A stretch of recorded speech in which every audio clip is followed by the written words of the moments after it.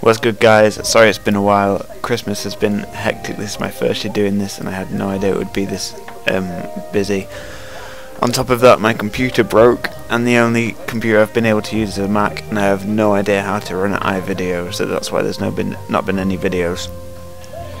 Anywho, no further delay. Cheers for your patience and thank you. I've just gone past 100 subscribers so thank you very much for that. That's awesome.